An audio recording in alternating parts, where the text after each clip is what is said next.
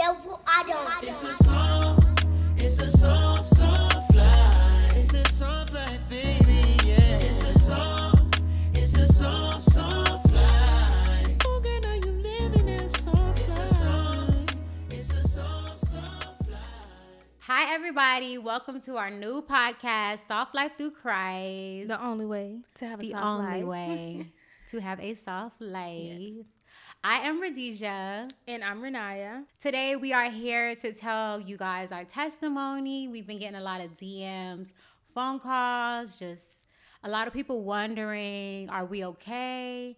How are we doing? What are we up to? And it's been a lot of speculations about what has been going on with us. Mm-hmm. But today is finally the day to share our testimony and tell you guys what is what has been with us. Yes. And God actually gave us this date to release everything. That's why we were waiting because we want to acknowledge Him in everything we do and just make sure it's right. So, Yes, we definitely have been day. Mm-hmm. praying and fasting for this moment. And the time has come, y'all. The time has come. we've been waiting around. I'm like, yo, I'm ready. Yeah. I'm ready because I feel like this is going to help so many women. I agree. and that is the goal Mhm. to just come back and get all the people that we deceived and Yes. just led astray. So, Mhm. We that's it's back. all about. We back. So I just want to go ahead and briefly describe our spiritual backgrounds. So for me personally, I did grow up with a relationship with God, and I would go to church, or my mom should take us to church, of course. Um, even throughout high school, I maintained a relationship with God. I would take my friends to church, and we even formed like this whole church group where we were going to church. And then the enemy came and I fell off track and I would say around 2019, 2020. And I just started doing all the worldly things. I'm talking about like drinking, um, smoking hookah, partying, having sex outside of marriage, and just doing all the things that was not pleasing to God. And now, ever since October 17, I would never forget the date. God has came back for me, and yes, I'm now back under the blood of Jesus Christ. Yep. She's back. She's better. And Yeah. you look so beautiful. you look Yeah, so thank you. So do You you. can see him shining right through you, girl. And what about you? What was your spiritual background like?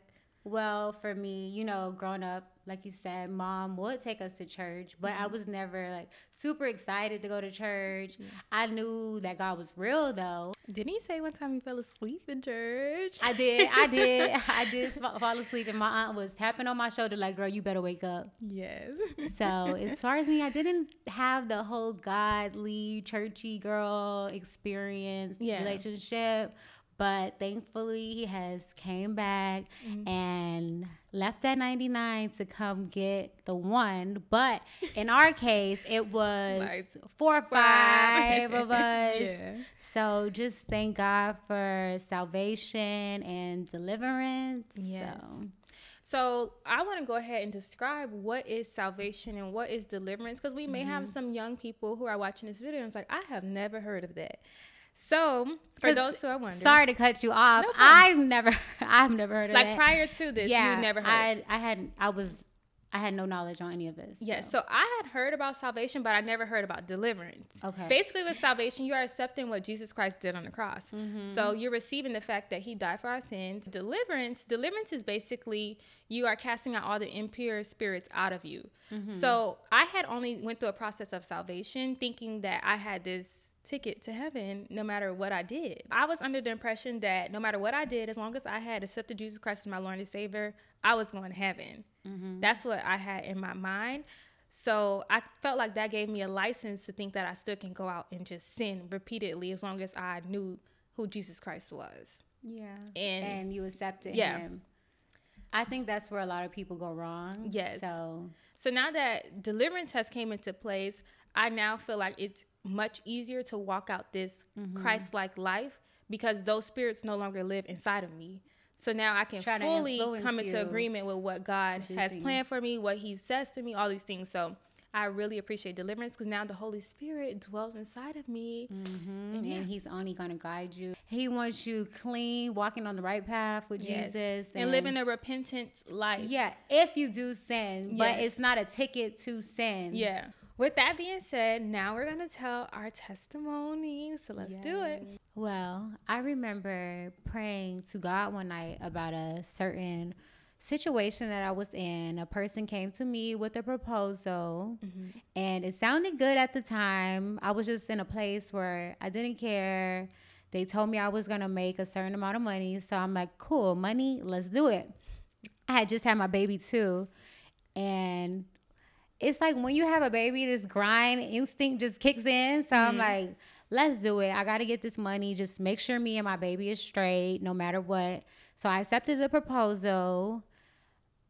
Couple years, say about say I'll say about two years passed by, and it went good until it wasn't going good no more. Mm. The math was not mathing. So I'm like, you know what? I got to get out of this. I prayed my prayer. I said, God, if this person asks me this question in the morning, that means they're stealing or getting over on me. And the morning comes, I wake up, I check my phone. It's like seven in the morning, and this person asked me the same exact question that I prayed to God about. And I was just mind blown. But I continued on with the situation I just kept that in the back of my mind though. I'm like, you know, I know this. God has revealed this to me. And things just kept going wrong. And I knew it was time to get out of it. Mm-hmm. So I went on a fast, a three day fast. I didn't know how to fast at the time.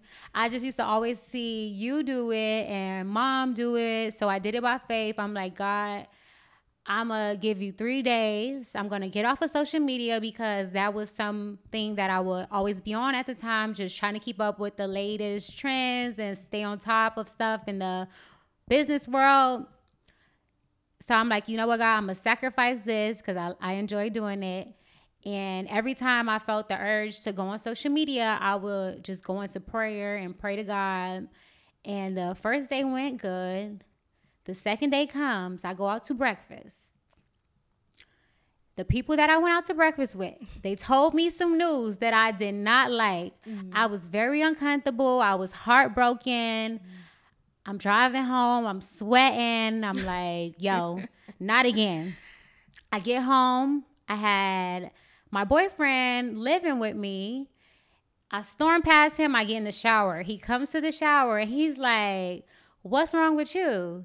So I end up telling him, I'm like, yo, they telling me that you doing X, Y, and Z on me, and you living with me. You get me? Mm-hmm. So whatever. We get into a tussle. A tussle. And I, this time, usually I will fight, like knock somebody in the head, but I didn't do that this time. That's how I already know God was already with me. I was just over it. The person ended up leaving. I'm sitting on my bed and I'm like, you know what? I don't want to live like this anymore. I've been mm. through a lot. I'm just tired. I just literally don't know where to start. But I will always remember my pastor's wife. She she was always sweet to me and she would send me scriptures. So I'm like, you know, I'm gonna just hit her up. And I'll always hit her up too once in a while whenever I would go through something. But I would never make my way to her house to pray with her or talk to her. So this particular day, I get in the car. I don't remember the drive to her house, mm. but I make it there. That's how I know God was with me.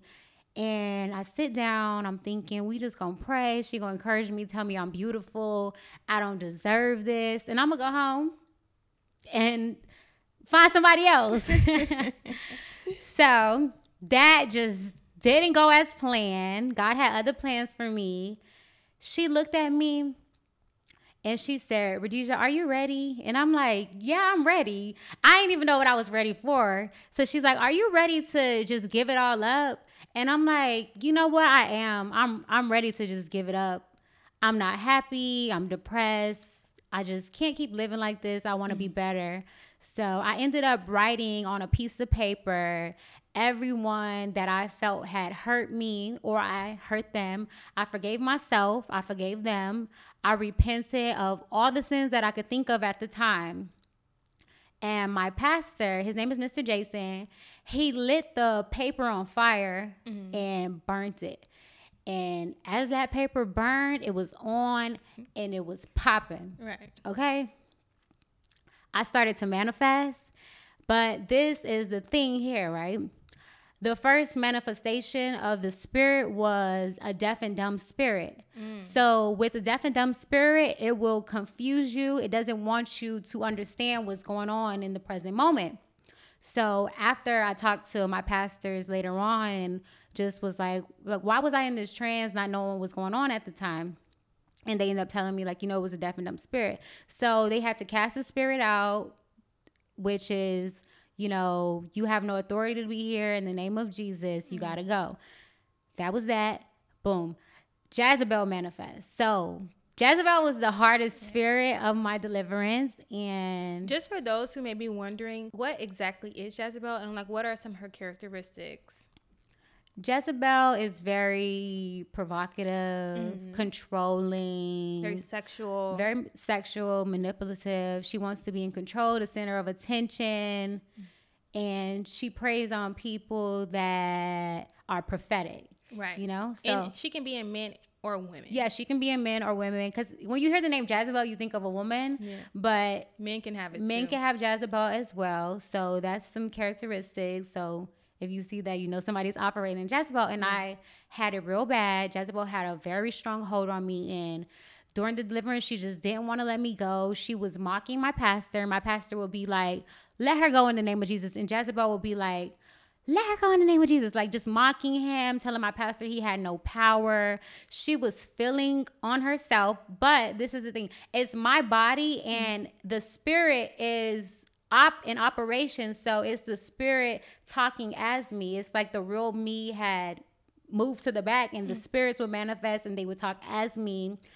Cursing in my pastor's house. If you know me, I am not disrespectful. Jezebel was in there cutting up. She was calling herself Jazzy. And I had my hair like this at the time. The bob was flipping back and forth, just doing the most. Very mm. embarrassing, just embarrassing me. I, like I said, I didn't know what was going on at, the time, but of course my pastors knew. So that was that. I got to my pastor's house about, I would say, 5.30.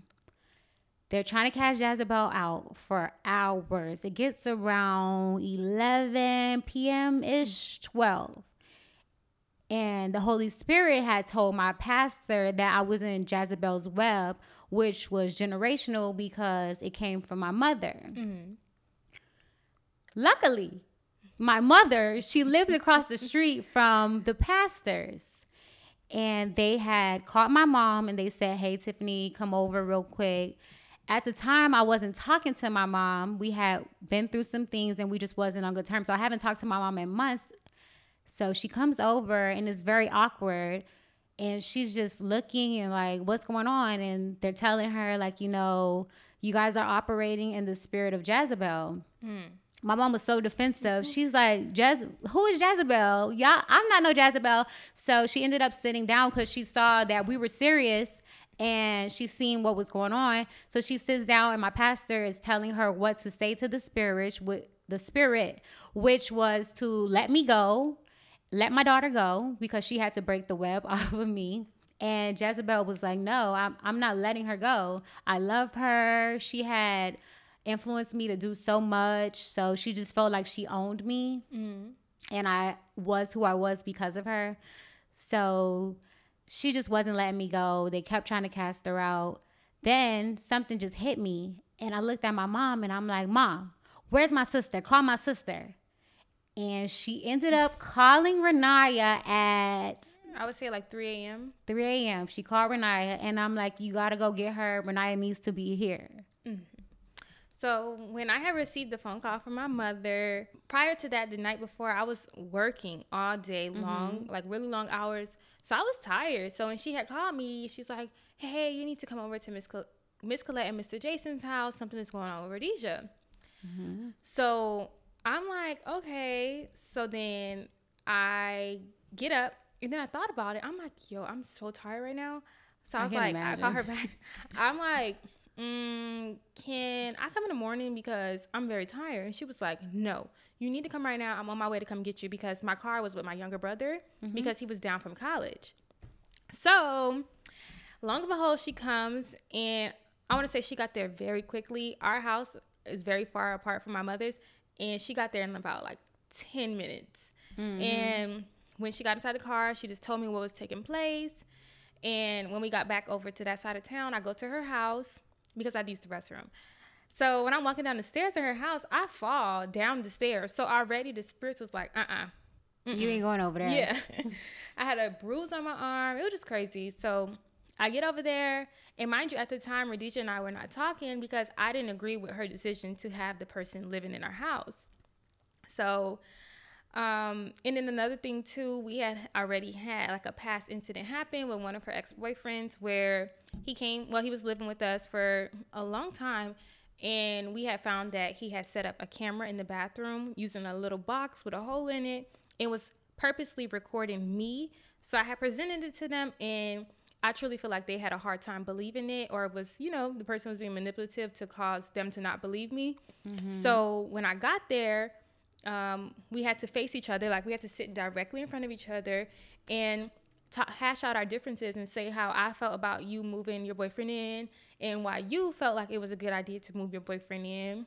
And If you were we able to see too, like, yeah, and we could speak a little on that Yeah. too.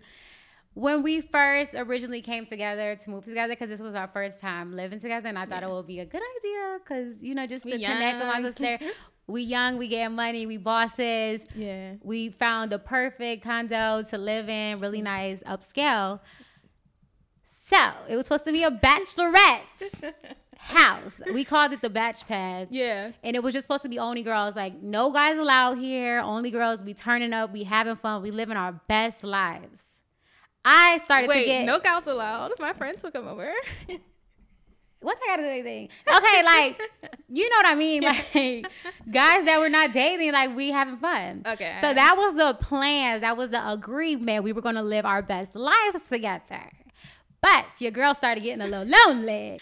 I'm like, I miss my bae. I love him. And just at the time, his lease was up. So I'm like, you know what, baby? Come over here. And honestly, I had got tired of two because I was handling everything on my own. I mm-hmm. was paying a high amount of bills, like a ridiculous amount of bills a month on my own. And I'm just like, you know what? I'm tired of this. See, but the problem was, Yes.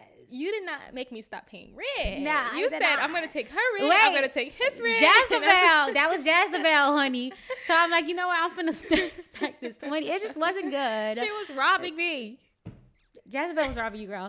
So I'm like, you Jezebel know. was robbing me. Yeah, so I'm like, come here. But I ended up playing myself because he, And that's what I told you too the night before. I said, Radisha, when you try to play people, you play yourself. And she was like, mm. my girl, my man coming. You my, like, I'm about to my go man, my man, my man, he coming over. And he's going to pay these bills and I'm going to have a good old time. I'm to stack my money in the meantime. right.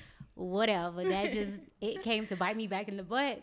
So another thing I had to face was my mom. I had to stand, I mean, well, sit directly in front of her too, and tell her how growing up I felt like there was a lot of favoritism that took place mm-hmm. for either for the older children or just for the younger children as well. Like it was never about me, mm-hmm. and I'm the middle child, so we kind of experienced those things quite often, mm-hmm. and even down to like our first cars. She had bought everybody a first car, but when it came down to me, you know, she had went through a hard time, so she wasn't able to buy my first car. So mm-hmm. I always felt some type of way, like I always felt like I had to work harder than everybody else, but still fall short, you know? Yeah. So I had to deal with that. I had to forgive her for that and just let her know how I feel. And I also got to see her perspective is that she was not intentionally trying to do that. So It was just a hard time Yeah. that we went through. Yeah.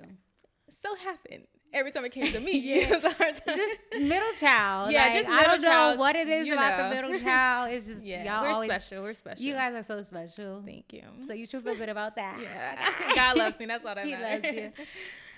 So yeah, so that was some things that we had to work on, and then um, Demon. You know what makes me laugh? You said when you got there, I was like, You were tossing like this. Like I was seeing you on the couch going like rolling over. Like your spirit when it see me, it was like uh, uh, uh, uh. they like, didn't wanted you to come. Well, I I, think why. the real Radisha wanted you to come and be there with But the me. spirit didn't want me The to come. spirit did not want my brothers and sisters Yeah. there, but the soft heart Radisha that loves her little sister was like, "Call my Yes. sister, mom." So you end up coming, and then you see me like this. Mind mm-hmm. you, I st- I'm still like in a trance. Yeah. Cause it's not only Jezebel there, it's other spirits there as well. It was like the victim spirit. I had the pity spirit. I had a spirit of depression, mm. a spirit of suicide. And what gets me is that I will wake up every day, right? Go about my day thinking I'm having a good day, or sometimes I'll have a bad day. But I never once thought I'm living with spirits inside of me Right. And I was honestly being tormented because it was one time I was in the shower, right? Mm-hmm. And I was feeling so suicidal. I was just so depressed. And I had everything, literally everything, just all the things you could think of. But I was just still not happy. I'm like, I don't feel like I have purpose. And I've been through some things, and people would talk about me. That would just always bring me down. So I'm like, you know what? I'm depressed. I am suicidal. Mm-hmm.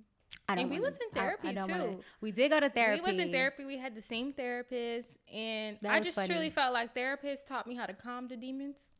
Yep, it just just said tame them things for the weekend. demons, and that's just that. Yeah, so, So, just, I'm not against therapy, Oh yeah, but for my sake, it just calmed the demons down. It never got them out. but the deliverance definitely yeah. got it taught you how to just go through life like with the demons. Yeah. with them bad, unclean, nasty spirits inside of you. yeah. So I just remember being suicidal, and that ties into this.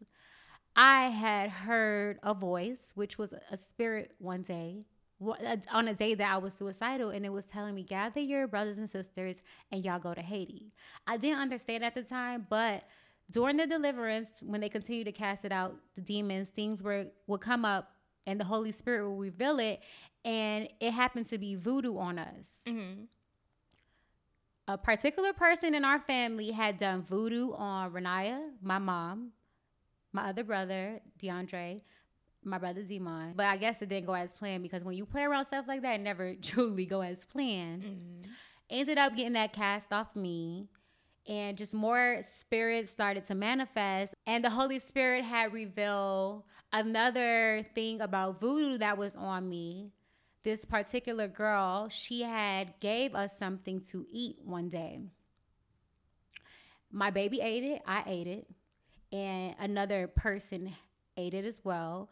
And this voodoo was to cause confusion with within us and the the holy spirit was showing them that the girl was jealous of me and they gave them a vision that she was trying to rip my face off. Hmm that's how Almost much, had to like ruin you. yeah, she tried to ruin me. Like she thought I was pretty and she wanted to be in my place. She wanted to beat me. So she was just trying to get me up out of there. Mhm. And just thankfully that this whole thing came to pass because I got that cast off myself, my baby, and the other person, and I interceded on their behalf. So now it's probably about the morning time, and It so, was. It was. So now we're it going on. So like eight.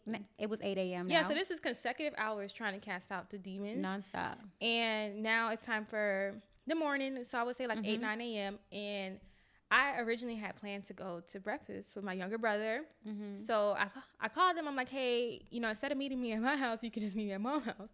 So I didn't tell him what was going on. So he pulls up, and then I tell him what's going on. But I'm still hoping we could probably go to breakfast. I'm like, okay, I'm gonna tell him what's going on, but we going to breakfast still. So then, as soon as we about to pull off, my mom come running outside and was like, Demon, you have to come inside. It's very serious. Radisha's swelling out. So I'm like, oh man.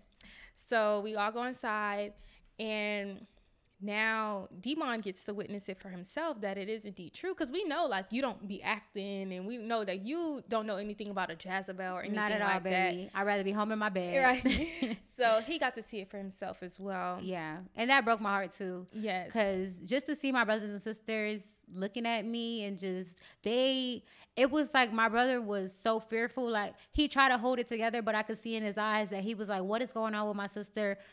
What's what's going on? Like, Yeah. when is, is my sister gonna be okay? Is she gonna come back?" Right. So it, that was very hurtful. But I was still operating in the spirit Mm-hmm. when he got there. Yes. So then my younger brother was able to call my older brother and get him to come over there. And at first he was like, uh, is she all right? Like, just slap her. Like, come on, man. She tripping. Just slap her in He the people's house, like, just wilding out. Like, did she take a bad drug or something? Tried Which it. We don't know why he would even say anything like that. Because. I have not. done no drugs, Right. smoked a little hookah, drink the little drink. Dr- drugs is just so far fetched. like he know me from doing cocaine or taking pills. He tried it. He, He really did. tried it, He did. but he didn't know what was going on. He wasn't there yet. Yeah. And he's like naturally like a jokester. He told y'all to slap me. yeah, my younger brother was able to convince him to go ahead and come there, and he came pretty quickly. For Which is all God. You see how God? Oh, quickly. Oh yeah. Well, he came quickly. okay. He could have came five hours. He came yeah, like one he hour. came. That was God though. Yeah. God knew that y'all all had to be there. Mhm. It was almost like y'all had to be set free Mhm. for me to be free. right. That's how God Like a working. domino effect. Yeah, it was a domino effect. So effect. God was like, "I'm coming for all y'all." he came for all of us. He knew what we needed. So Dre arrives Mm-hmm. and he storm up in the little house, his little stove. He storm up in the house, and they're telling him what's going on. Mm-hmm. And he's just like, nah, this y'all conscious, man. and I was so fearful. Well, my spirits was so fearful because I remember telling my pastor's wife, I'm like, he's the strongest one. Whatever voodoo or anything that's going on, excuse me. it's something in my throat for real. I'm like, whatever spiritual is going on here, I just know his spirits are the strongest spirit, okay? And I'm scared. I took my pastor's wife outside. I, he has a gun on him, and he came to Not kill us. snitching. The spirits were snitching. I didn't even know what was going on. The spirits were snitching. It was like he has a gun and he has came to kill us. The spirit was trying to cause a lot of confusion. uh-huh. She's like, nah, that ain't happening. This is the house of the Lord. So we go back in, and my brother is like, like we said, he's like, not believing it, not going for it. He's like, this y'all conscious. Y'all better get it together and get up out these people's house acting a fool. He like, since this real, tell Yeah. me something y'all don't know. Oh, so the Holy Spirit, what the Holy Spirit did. yeah. Which was very beautiful about my deliverance Mhm. was that this how you know God wanted me so bad. He wanted me to come back to him so bad that he was allowing the Holy Spirit to come upon me, right? And tell my brother something that nobody knew about him so he could believe. So the Holy Spirit literally came and told me what my brother needed to hear. And I told him, and he flipped out. Mm. He was looking like, what is this? said nobody knew that. Nobody knew that, man. he was trying to walk out the door, all that, but he can't. He ended up coming back, and he seen what was going on was real, and that demons was getting cast out of me. Mm. So we took a little break with me because them demons was not letting up. And my mom ended up going into her deliverance mm-hmm. because now she's seeing that this is nothing to be played with. So she's like, God, I surrender to you and I'm giving my life to you today. So they started deliverance with her.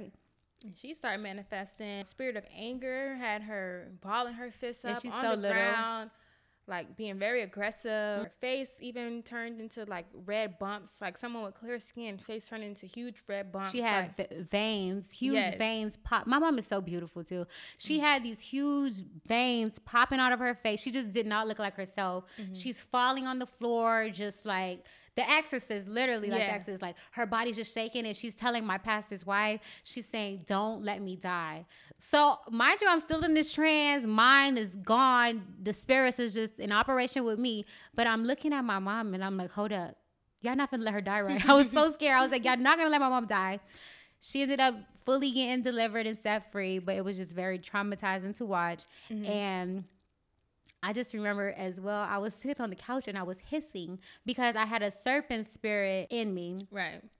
So the serpent spirit was looking at everything going on too, and it was like, like hissing at y'all. Y'all remember? You remember that? Yeah. It was hissing, so it was just like, It was it- wow. It, was very wild. Mhm.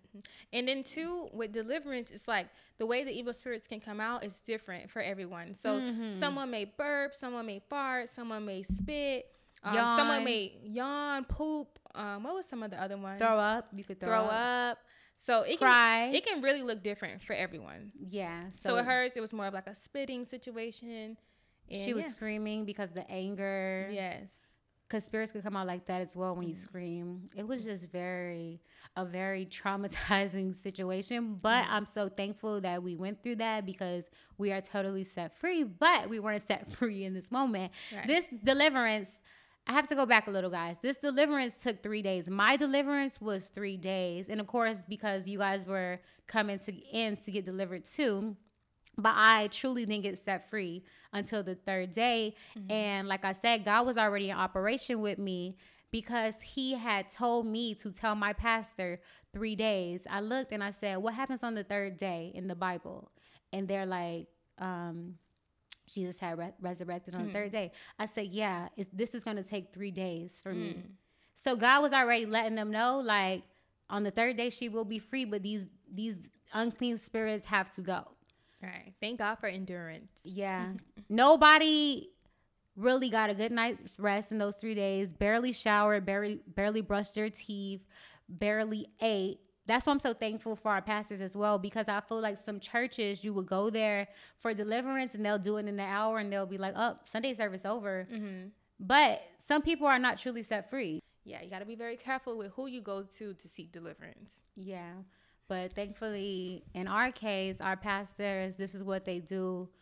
They have been Full called time by God to do this and they take it very serious. So if they wasn't gonna get no sleep that night just to make sure that we were set free, they ain't get no sleep. Yeah, that's just what what it was gonna be. So on the second day too, I went through a process of deliverance, but my deliverance didn't finish.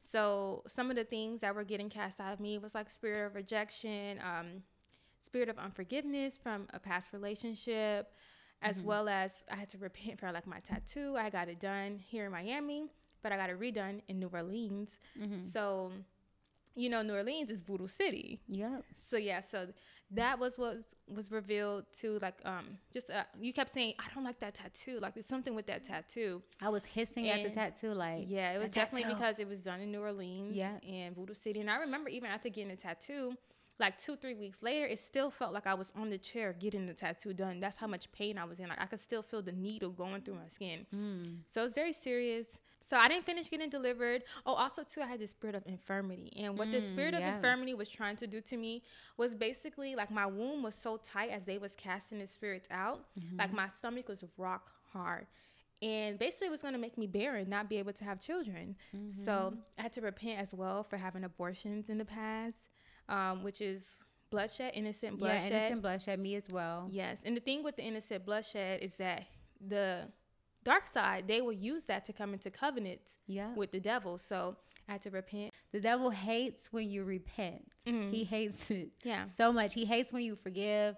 He hates when you repent. Mm-hmm. He did not like that at all. Especially with unforgiveness, mm-hmm. I really had to call on to God to really help, to help me forgive you. some of these people because I couldn't do it within my own will. Like yeah. I couldn't do it on my own. I needed God to literally give me the strength to forgive these people. Yeah, thank God so, for that. And your heart God. had to be postured in the yes. right in the right place. You cannot yeah. go through full deliverance if you still feel like you're going to be unforgiving. Mm-hmm you just can't do it. Your heart has to be posture right. Yes, and your deliverance won't be complete until your yeah. heart is posture right.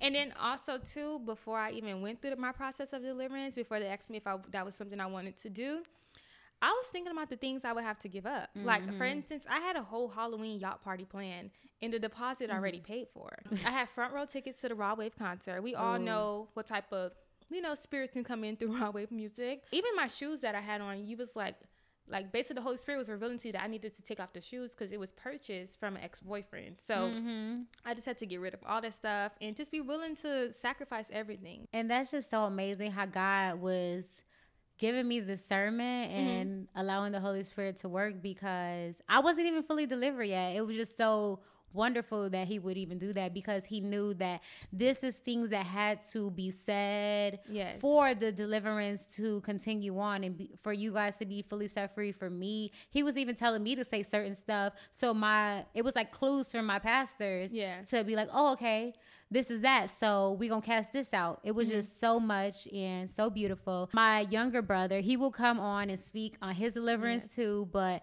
he had got set free in that moment as well mm-hmm. on the mm-hmm. second day. And my older brother too, he's still a work in progress, but we did free him from a lot of things on that day as well. So that was making me feel at ease because I truly believe in my deliverance that you guys all had to be set free first and the spirit that was operating me was trying to trick me like i was a sacrifice right mm. it was saying that you guys were all gonna be delivered and I was gonna die. So basically, I was a sacrifice for you all, you guys to all be set free. It was just trying to cause this confusion in my head. Right. So I think that's what prolonged my deliverance as well because I was so scared. I'm like, once I get delivered, I'm dying. I'm gonna. I'm going to heaven, but I thought it was kind of beautiful because I'm like, I'm gonna be with God. But it was literally telling me that I was going to die. Mm. And that really scared me. At this point now, it's been about 24 plus hours of us dealing with the deliverance, and it's nighttime of the second day, and we're hungry. We're tired at this point. So we decided to go across the street to my mom's house, thinking that maybe we could get some rest, get some food, shower up, freshen up everything. So we go walk across the street, but Radisha stays so that she can continue her deliverance process, um, because we didn't know if you could sleep w- with this going on or anything. So I didn't even want to sleep. I Yeah. was like, mm-mm. so we go across the street to my mom's house. We're about to order food. My mom go upstairs with Lala to take a shower, freshen up, and There's a little knock at the door. boom, boom, boom, boom, boom. so Radisha comes knocking at the door, but prior to you even- getting to the door, I don't even know how they let me out the house. Like, why did they let me out the house knowing them spirits was tripping? I don't know, but they came across the street with her, so they Yeah. supervised her. As she But crossed the thing is, I walked across that street with no shoes on. Literally out of my mind. I promise I don't remember having on shoes. uh-huh. I had on no shoes, girl. Walked across that street, big old pants, because at the time I had on like some boyfriend jeans. They were Uh-huh. like a size 14 from Zara. That's what I went to my pastor's house in a Uh-huh. hoodie and some big boyfriend jeans. But at this time, the, the jeans had done stretched even bigger than what they were, at, what I bought them as. So I'm walking across the street, no shoes, big pants, pants scrubbing the ground. Mhm. Knock at the door, boom, boom, boom. And but prior to you getting to the door, what happened? My mom, I was already having discernment. God was already giving me discernment. It's really wild. It blows my mind. I keep saying this. And I just started to see things. I was still in the trance, but I was seeing things that weren't right. Mm-hmm. And my mom had this Halloween pumpkin scary face thing on her door. And I ripped that thing down off the door. I threw it in the floor. I walked up in the house. And the house was so stink. Mm. But my mom's house is so clean. She was burning the cinnamon toast or Yeah, the candle from Bath and Body Works. champagne toast. She was Uh-huh. burning the champagne toast candle. But the house was so stink, and that was a form of discernment as well. God would give you that form of discernment, like you could smell when something isn't right. I didn't know this at the time, but this this was going on. God was helping us through this deliverance, and I'm storming up the stairs. I'm like, y'all got to get out this house. My mom was in the shower, just trying to take a little shower, freshen up. I said, get out the shower and let's go. Everybody out this house. So everybody's already thinking I'm a little cuckoo mm-hmm. because of everything that's going on. So they still don't know if I'm really truly laced or if this is just God or, you know, at the time. So they're listening to me though. Everybody, y'all putting on y'all stuff, y'all packing y'all bags, everybody's out the door. running out the door. Yeah, running because I was very serious. And as we're running out the door, my mom had her window shades open, and I looked in her house, and it was literally like her house was on fire, but it wasn't on fire. I was seeing it as it was a fire burning in her room, and I'm like, Mom, Spiritually. yeah, spiritually. I'm like, Mom, your house is on fire. Like, look in the window. Somebody is in your house, which was a spirit, I'm assuming. I didn't understand at the time, like I said, was doing something in her house. It was burning the house, but the house literally wasn't on fire, but I could see that. So we go back across the street to our pastor's house. I know they were so tired of us. Thank God for them. We all go back to the pastor's house and everybody's just like, what the heck is going on? Now we're already scared because we didn't understand the whole deliverance thing. It was kind of getting real to us, but that scared us so bad. Yeah. After I found out that we couldn't stay at our house, I'm like, now we have nowhere to go. Our pastors, of course, would have let us stay there, but at this point, we done definitely overstayed our welcome. We done been there for 24 plus hours. It was just a um, crazy situation. So I booked us a hotel. I'm just like, okay, I'm just gonna find us a little hotel for us to stay at that night. Mm-hmm. So I booked the hotel, and because we had to be very specific about who booked the hotel, based on what type of occupation you had. Yeah, because we was not playing with God. yeah, we was like, listen, we not playing. if you got any dirty money, we can't use it. yes. So we was very you had to book specific about who was allowed to book the hotel. So I booked the hotel. We don't go back into my mom's house. Mm-mm, That is done for. We leave and then we stop at Walgreens because we like, okay, let's get some snacks, let's get some underwear, let's get something. We Mm-hmm. need something to go to the hotel with. I needed to get hair wash. Yes, because I had did a reading. Mm-hmm. This is so important too. I had did a read. I did two readings actually, but the first one it was useless. Didn't get much information, so I'm like, let me go to another reader. I just want to know. And this reader, she was telling me to meditate, and she was telling me to wash my hair with goat milk and coconut milk and all this stuff. She told me mm-hmm. to buy i bought it. I'm thinking like okay i'm gonna get more in tune with myself. And i i've seen people do it too so i'm like okay maybe this is the new way to like connect with yourself and spiritually. So my little crazy behind at the time done listened to this lady advice and i sat in my living room i washed my hair with this potion and i was meditating and as I was meditating, I felt some type of power, fake power that came up on me. It was like definitely spirits coming inside of me because I was an open portal. uh huh. Didn't understand at the time.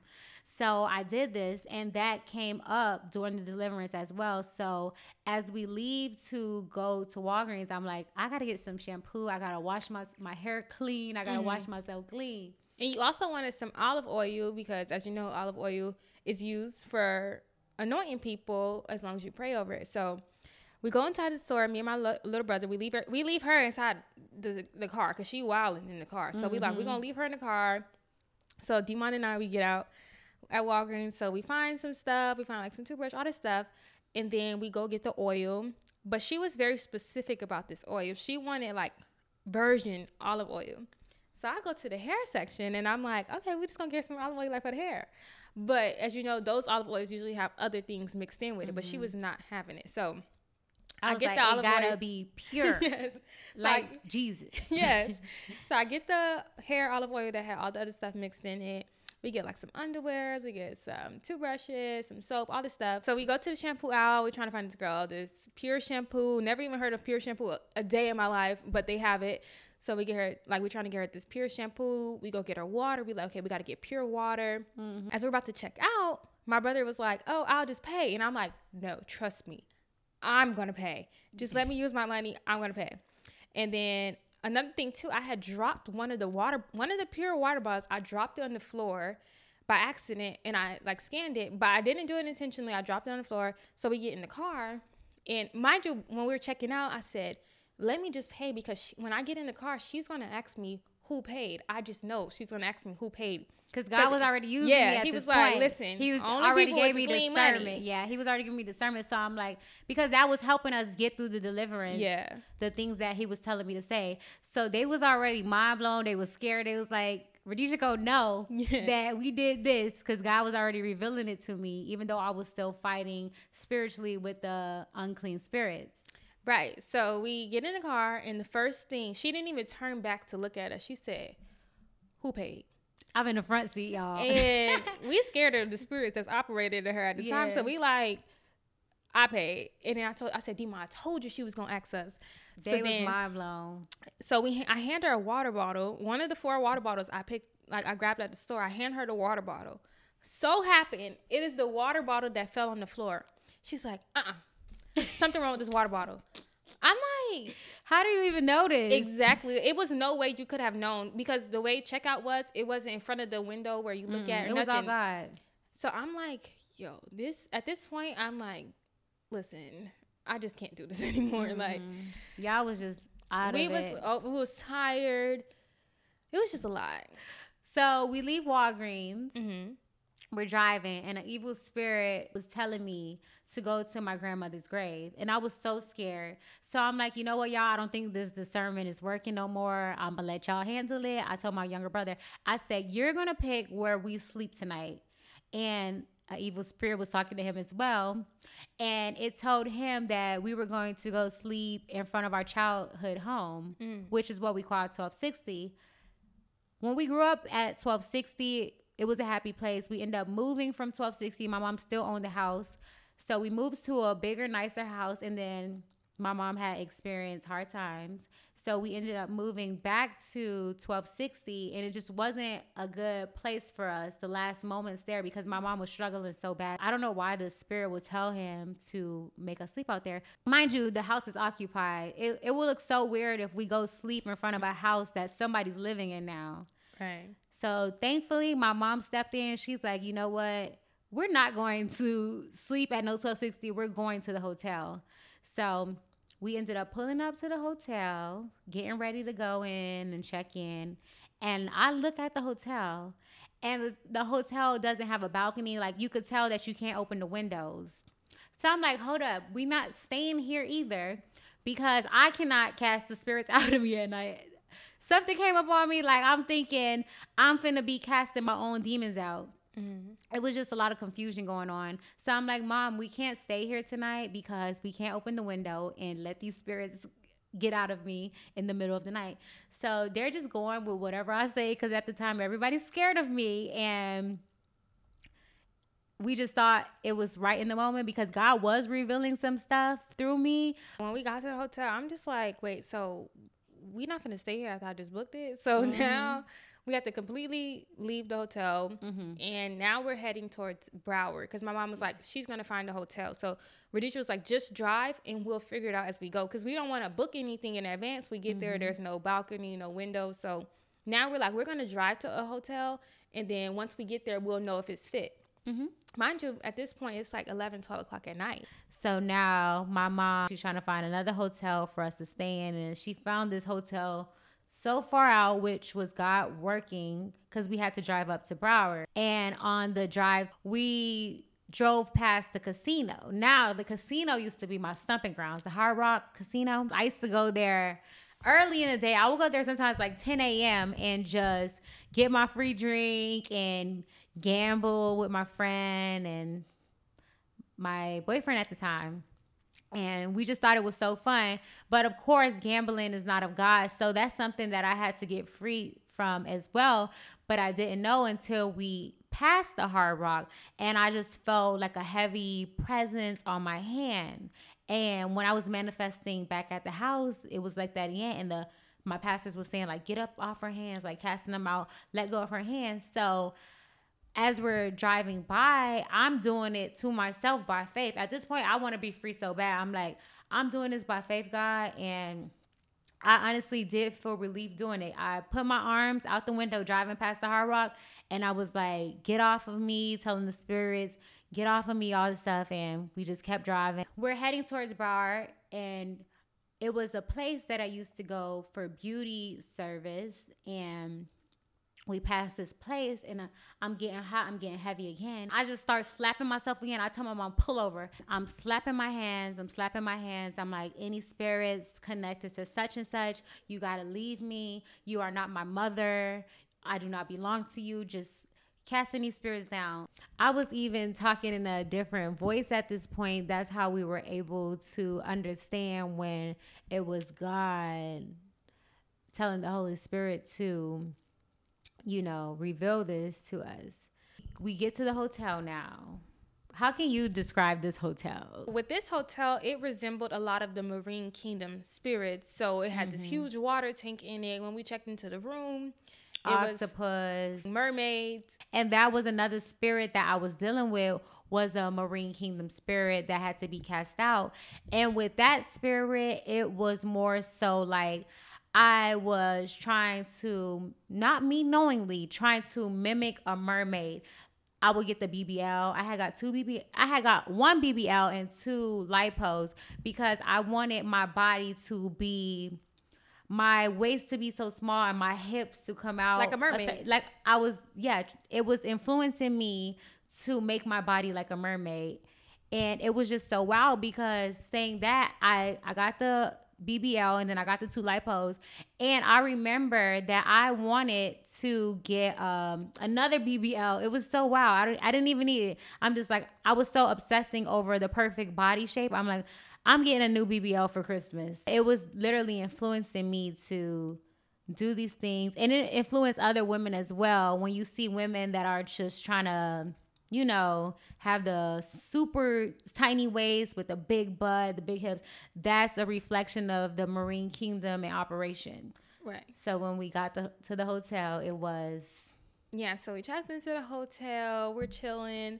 Um, you can tell she's uncomfortable with the hotel, but she's just trying to like persevere because we're exhausted at this point. Like we would probably was riding around for like an additional two hours trying to find the perfect hotel because it just seemed like it was always something with a hotel. So we're exhausted, and I just know that she just was trying to, you know, waive her uncomfortableness so that we can get some rest. So you washed your hair out from the goat milk ritual, um, like a resemble of washing your hair out from the goat milk ritual, and I took a shower. I, you know, lay down. So it's me and is it mom and Lala in the bed, and you and Demon.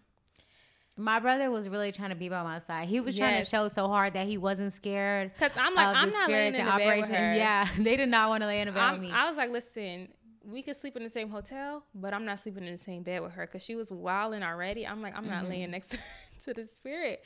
So, in the middle of the night, you wake me up out my sleep. Mm-hmm. And you're like, you gotta get up. I have to sleep next to mom. yeah I'm like, oh, Rashida, come on, bro. Yeah. So I get in the bed with Demon. You get in the bed with mom.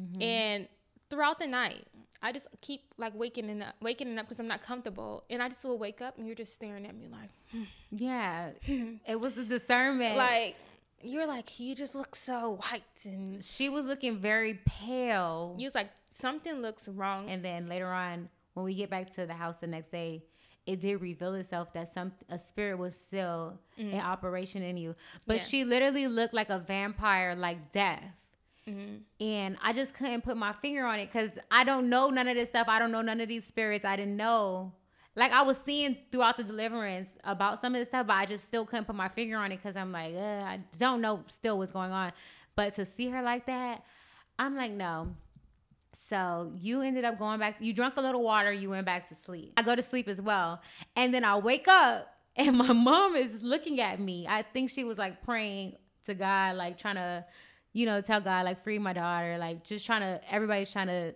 understand this, but she was praying for me, and I jump up. I'm like, nah, we gotta go. Like my mom, looking at my mom just sparked something in me.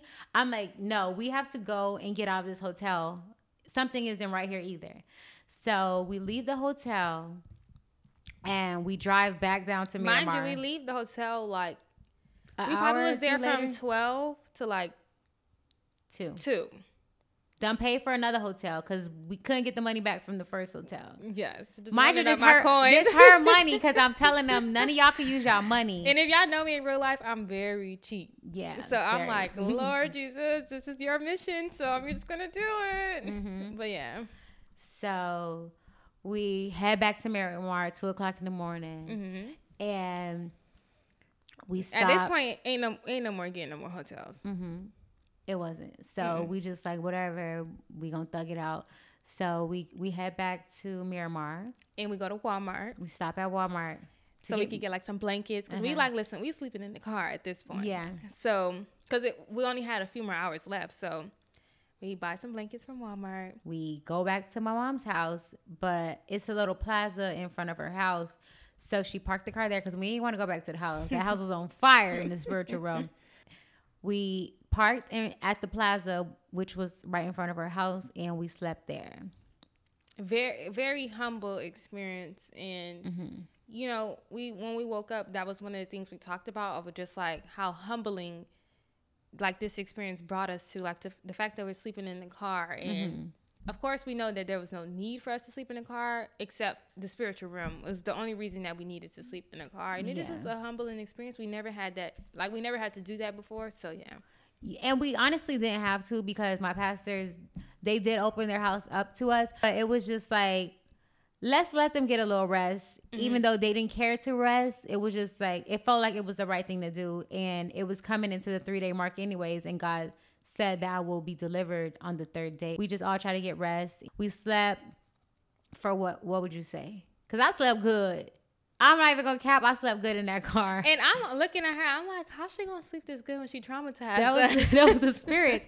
Those spirits wasn't done. They was like, we finna get this rest because in the morning we back at it. Wake up. My pastors, they were already up. It's to the point they barely got any sleep. They text my mom like, "Are you guys okay? Where'd you guys end up sleeping at? Where'd you guys go?" And my mom texted them, and she's like, "You know, we end up just sleeping in the car because we couldn't find a comfortable enough hotel." And when I say that broke my pastor's heart, he was like, "Nah, y'all could have just stayed here for the night. Like we thought y'all was literally just gonna go to the hotel."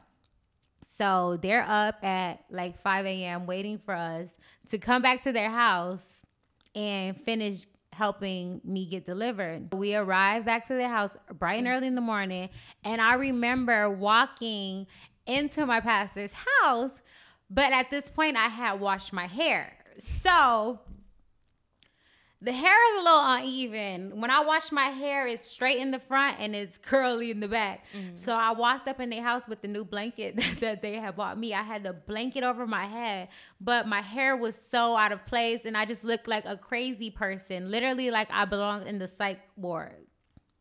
So I walked in their house and everybody's up ready to cast the, the demons out of me. But I'm like, yo, I need some rest. Even though I got rest, I'm like, I need a little more rest. So my pastor's like, just go upstairs. This how loving they are. He's like, go upstairs and just finish off your nap, take a nap, finish off your sleep. So I went upstairs and I remember when I went to go get sleep, I couldn't even sleep because the room that he allowed me to sleep in it was red and it was reminding me of blood. So that blood brought me back to me dying because remember the spirit was telling me that i was going to die for y'all to get delivered.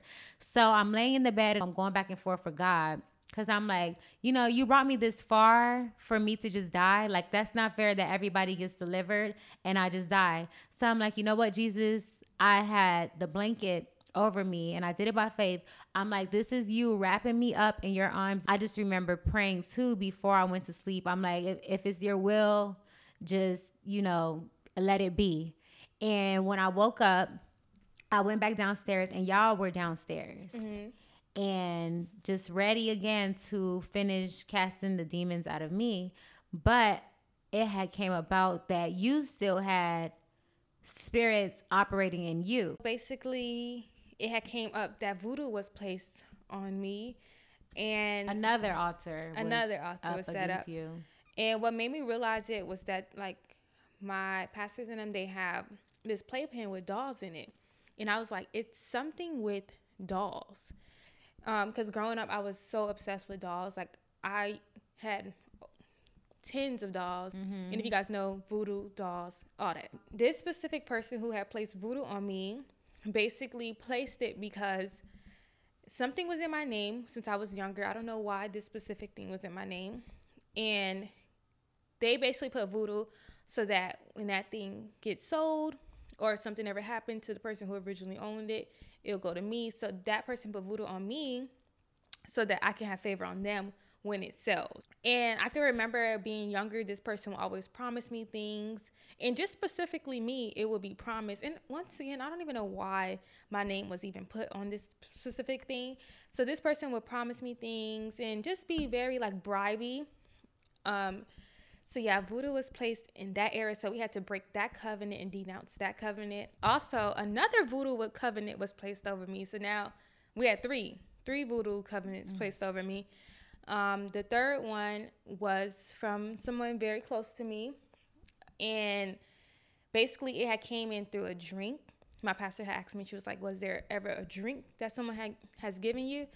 And I can remember this specific person giving me a drink, and they were forcing me to drink it like I was in the shower, and they kept forcing me to drink it. And I thought it was weird that they kept offering it to me. And then I get out the shower and they forced me to finish drinking it. And it was around COVID time too, so I assumed that it was related to something with COVID, like oh, just drink this, you know, like such and such made COVID. it. Yeah. We were so gullible. So. Very gullible. And you would not just think that people would Oh, do no, anything to you. There was a covenant came through that drink. Whoever made the drink, whoever gave me the drink, it was a covenant placed into Yeah. that. So Which is wild that very wild. like I said before, that people are really doing these things Mm-hmm. and it's just so hurtful knowing that this is what's going on. Yeah. And you just being the loving person that you are, you just like, okay, cool. Like, not, Yeah, I'm not like, thinking that somebody drink. will harm you. And at the time too, the drink was very sweet. I can remember the drink being very sweet, so I didn't think anything of it. But normally when you think COVID drinks, you would think of gingery or Yeah. citrusy. I remember it being sweet, almost like cinnamony. Yeah. So yeah. just too much. yeah, a lot of voodoo. So you just got to be careful what you eat and drink from be people. very mindful. Be very mindful. And if you just even feel like, nah, something ain't right, most of the time it just ain't right. Yeah.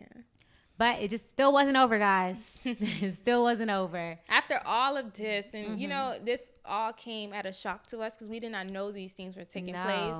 So it's like, But it was It was definitely so God much. showing that He was real.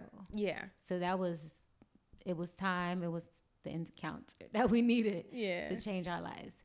Now, after she is fully set free by the grace of God, it's back to me. My pastor looks at me and is talking to the spirits, of course, and was like, We ain't done with you. It's because the spirits was chilling, watching her deliverance and everything. We, we ain't forget about you. So it's back to me now. And this is going to go on to into the third day. So it's about, I would say noon now. And another spirit that manifested was a Kundalini spirit. And with this spirit, this spirit is a false Holy Spirit. It's a mm. it's a false prophet, tries to mimic the Holy Spirit, but in a false way.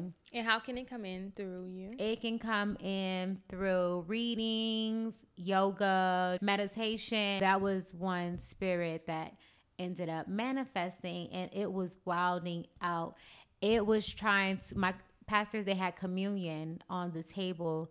The spirit was trying to take the communion to get drunk in the spirit, which the Kundalini spirit likes to do, to act drunk in the spirit and laugh and just all this foolishness. And it was being deceiving as well. This particular spirit, which I truly believe came in through the psychic readings. And I also went to go see a voodoo guy, which we called the, Woo Man to joke about it. Um, it's called a Woo a Woo Man. So I had went to go see him. I had wanted to know something about a situation that I went through because someone had taken something from me.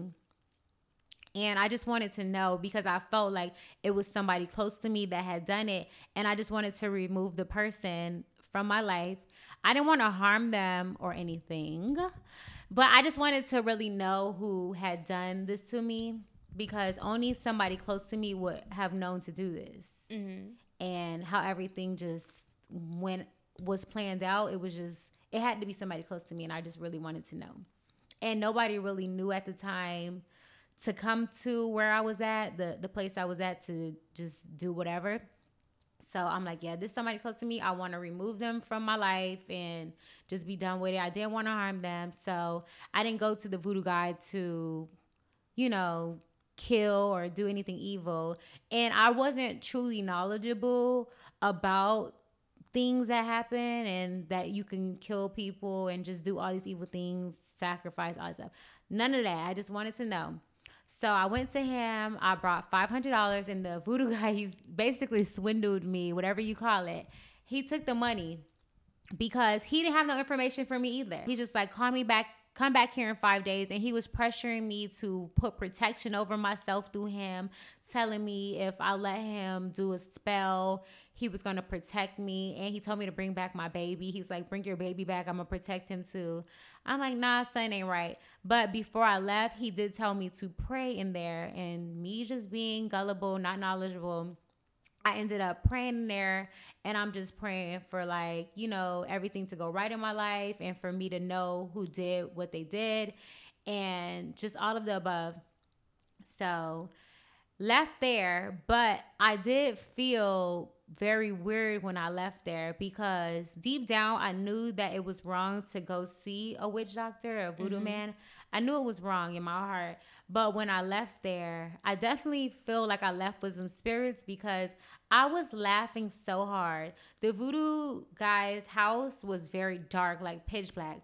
when I walked outside, the sh- the sun was shining so bright. So I feel like the spirits that imparted in me in there was trying to make me feel like I did the right thing. So I was smiling so hard when I walked out the door. But it was like a uncontrollable, which makes me think about the kundalini spirit because it, it laughs its drunken spirit and that's exactly how i was acting when i left the voodoo man i was laughing so hard like literally like drunk but i was thinking like i'm so happy it just had me feeling like i did the right thing which- And a blood sacrifice took place as well. Oh yeah, it was a rooster, and I promise y'all, I did not know what was going on, and I thought it was normal because I would hear stories about the, the voodoo guy, and I I would think like, oh, whatever, this is kind of funny, stupid, not a good idea. So it was a rooster at the the guy. When I walked in, I could hear the rooster, right? And it was doing a cock a doodle, whatever the roosters do. But when I started saying my prayer, my eyes was flickering. Mm-hmm. they couldn't stay open. It was like literally like a camera flashing. But I don't remember seeing him leave my side. But I didn't hear the rooster anymore.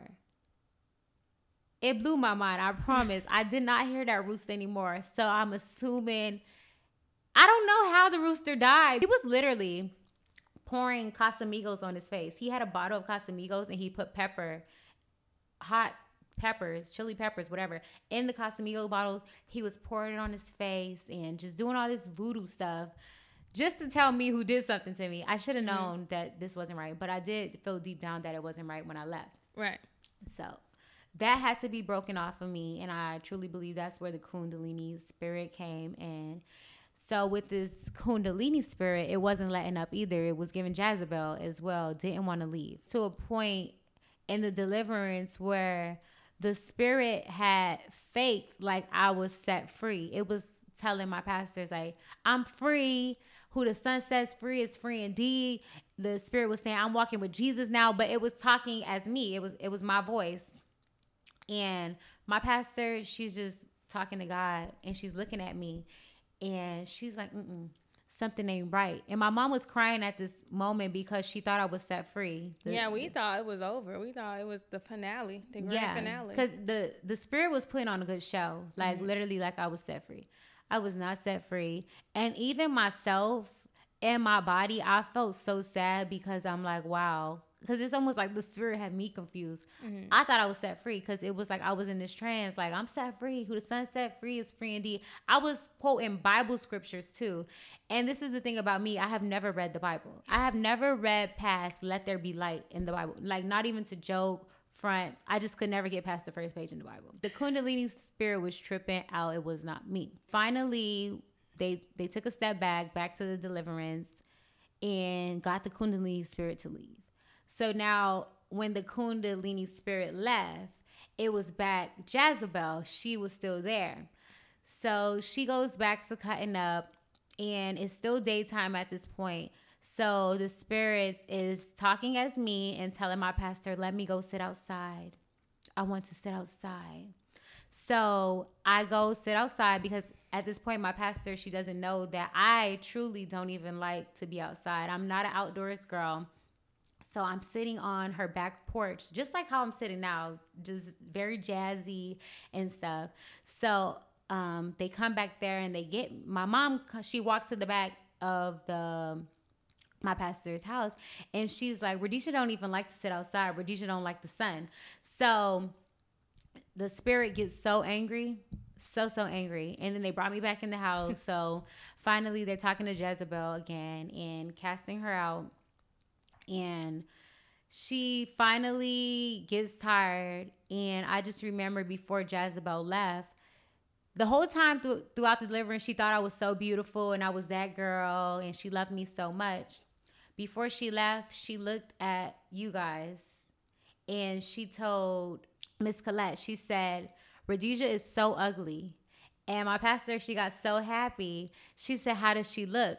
And Jezebel said, She looks like Jesus. And she left. That was the last of Jezebel. It was so wild.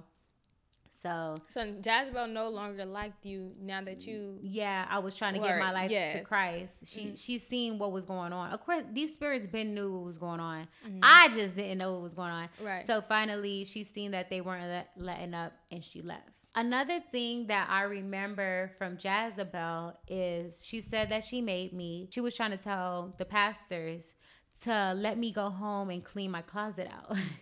she was like, "Let let Rhodesia go home." And she was talking like this, not even talking as me, like, let me go home.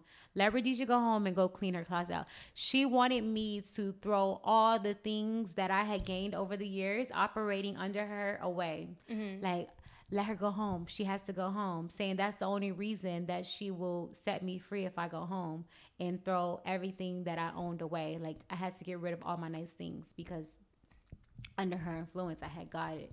And now it's winding down. The, the third day is winding down, which is where, when I'm about to get set free. But the spirits didn't even know the time Mhm. and I was so exhausted at this point because now the deliverance is hitting 72 hours. Even though I got that little bit of nap, I probably slept for like a good, uh, I would say, seven, and majority of the time you were total. standing up Yeah, I had to stand for on the my deliverance. because you gotta tire the spirits out. Mm-hmm. So they, my pastors, they had me standing on my feet the whole time, and I was just really uncomfortable. But I just had to like make the spirits uncomfortable as well. They're still casting out spirits. I'm burping. They just naming all these spirits, just so many spirits. And we'll we'll talk more about the spirits in another video too. Like Yeah, like Well, a full breakdown. yeah, we'll write it down and just break all of them down because there's just so many to name. So as the the third day is winding down, another spirit came about, and it was Leviathan, Mm-hmm. and Very that's a very strong, prideful spirit. So that was the last spirit that had to come out, and this spirit was not coming out. It was it was putting up a fight just like Jezebel did. So at this point, my body is tired. You guys had to hold my arms up Mm-hmm. for the rest of the deliverance, and I was going off on them. I'm like, just let me go, let me die as well. Like I'm You're tired. assaulting us. I'm tired of this. I was calling them ugly, just going off. I'm like, I don't want to do this anymore, and I'm just tired. Like it. Like I'm finna die anyway, so be it. I'm like whining and and just so over it. I'm like I can't do this no more. I'm tired of it. I don't even care about getting delivered no more. I was falling on the floor. My brother, I love him so much. He was picking me back up off the floor and was telling me stand up. And they were literally telling me to fight for my life. Yeah. And I'm like, I don't want to do this no more. I, I just don't care. So I looked over at my pastor and she was just getting so discouraged, but I knew she wasn't going to give up on me. But I could see the discouraged look in her face. So I'm like, you know what? She's telling me, like, Rhodesia, I had to go through X, Y, and Z. And her story was very hard. It was worse than mine. So I'm like, you know what? I'm going to fight. She was like, fight for your new life. I'm like, I'm going to fight for my new life the spirits just did not want to let me go. They was trying to take my mind, just everything. It was so much torment that I was going through in the in these last moments because they knew their time was up. I just didn't know their time was up. So I was being tormented so bad. So after I looked at her, I just felt like I put these people through so much these 3 days. I'm going to fight. Mm-hmm. So Even the spirits were getting defeated. Oh, Like she was talking directly to the spirit and she was like, You lost another battle. Yeah, Like just give God. up. You gotta go back home and say how you lost another battle. Mm, like yeah. your commander is not gonna be happy with you. And they you were once again They lost started another leaving. battle. I just remember at the end I was fighting so hard. It was so much torment. It was just to even think about it just hurt hurts because I was I was in so much torment at this last moment because it was intense. It was like literally like boom boom. I was fighting and I was praying to God. I'm like, God, please just come and help me in this moment here because I don't want to do this anymore. I don't even care to live. I, I just can't keep keep going through this. So it's getting to like 11:59, 11:58 ish, and I remember as I was praying to God, I threw my arms up like I surrender. And I have given my life to Jesus Christ. The spirits hate that. When you say the name of Jesus, it holds so much weight they was done with me. they was done with me. So I turned to the wall, and my pastor, she has like a white blank wall in her house. Because now it's about your heart.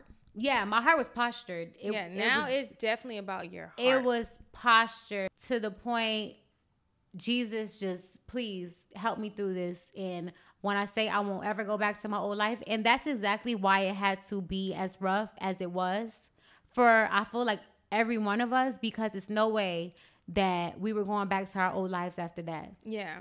So I threw my hands up. I'm like, Lord, I surrender. I would never do these things again. I'm just tired and I fully give my life to you and I'm going to pick up my cross and I'm going to walk with you. And I'm looking at a white blank wall. And when I say, I seen Jesus, I seen Jesus on a cross with his arms up, just like this, on the day that they nailed him to the cross. Mm-hmm. That's what it was looking like to me on that wall, just like this. And I had my arms up, just like this. And I'm just staring at the wall, and I literally see Jesus on the cross. And my pastor, she started speaking in tongues. Oh, I felt chills. she started speaking in tongues, and she said, The verdict is not guilty. Mm. I'm about to cry. Oh, don't make me she cry. said the verdict was not guilty, and I was set free mm. in that moment. You gonna make me cry? Just knowing that God literally came back and He got me and He got us. He got us. Like I don't even care about this makeup ass. he came back. He came back for us, and he literally showed me. I'm like literally shaking. he showed me how real he was, and that I would never turn back around. I would never go go back to my old life ever. So therefore, if anyone is in Christ, he is a new creation. So that that's just that's our deliverance story. Yes, very intense. Wow very remarkable, very life changing deliverance story. And we're just super grateful and honored to be back under the blood of Jesus.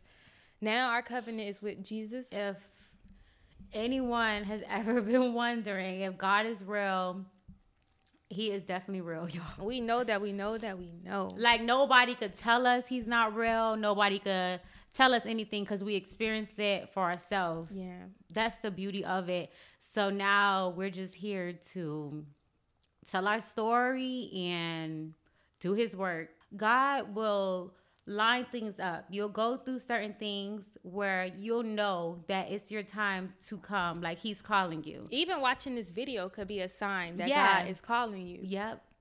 I feel like that's going to be for a lot of people too. You'll feel it. But when I say that, it's like God is going to set things up. So when it's your time to come to Him, you're going to come to Him ready. Yes, desperate for desperate, him. so that you will never look that you will never look life. back. That's how that's how God wants you. He wants you when you're desperate, so He can fill you up with His love. Mm-hmm.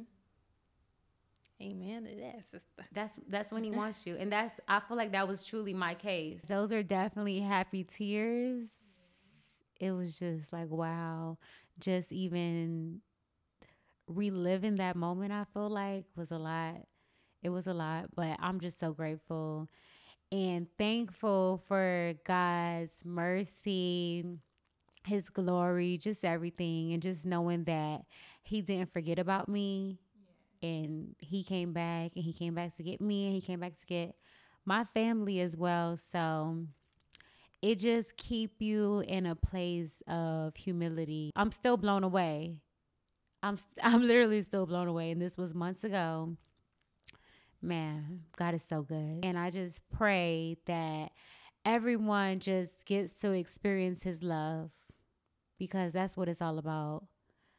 Literally nothing in life can fulfill you. And I said this to somebody too that day. I'm always just preaching. I mm-hmm. promise I'm always just preaching somebody nothing will truly be able to fulfill you but God's love. Not money, not a partner, not a business, not even a child. Just seek Him and He'll reveal Himself and He'll lead you to where you should be to get the deliverance. Even if you got to watch videos, if that's going to connect you, just sermons, anything. Right. And we definitely will be praying for you all, praying that God gives you guys a personal encounter Mm-hmm. so that you guys can never, ever, ever feel like go- there is a need to go back or feel like God is not real. This encounter, we pray, will be so personal to you that you will Mm-hmm. be able to know and testify to his goodness. Give God the glory and honor that he deserves. It's all for him, I promise. Yes, zero percent us. This is all him, y'all. We've been praying all day. We will come on and tell you guys our after deliverance story. Because if you thought Mm-hmm. the deliverance story was good, just imagine life after the deliverance. It has truly been something. Mm-hmm. God has called us out of our business. There has been so many things and people We've we have had a to whole give bunch up. of people. Family, friends, Mm-hmm. and honestly, it all was worth it because now we are intimate with Jesus. So that's Yes. all that matters. Thank you all for watching. Be sure to subscribe and follow us on all social platforms at Soft Life TC. We pray that you all get to experience God's love. Until next time, love you guys.